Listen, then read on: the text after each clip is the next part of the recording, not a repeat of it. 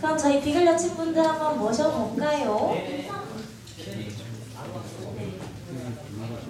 아, 저희가 원래 어, 발이 아플까봐 운동화로 신고 이제 그 다음부터 좀 더 신나는 거, 점점 점점 텐션 올려서 신나는 걸로 점점 가는 왜 허품하세요? 보셔 저기요 왜 허품하세요?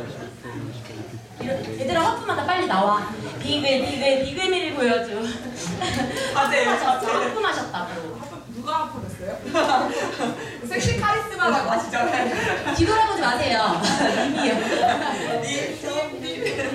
네, 그래서 저희가 어, 원래는 신발 갈아 신는 시간이 필요하다 했는데 어, 이미 이제 발 아픈 친구들 운동화 갈아 신었고 해서 그냥 바로 진행하도록 하겠습니다. 네, 조금만 더 만약에 시간을 지체하면 여기 막 주무실 것 같아서요.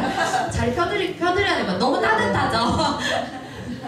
네, 그럼 저희 비글 여친분들의 멋진 무대 이어가 보도록 할게요. 호응 많이 해주세요. 어, 많이 해주세요.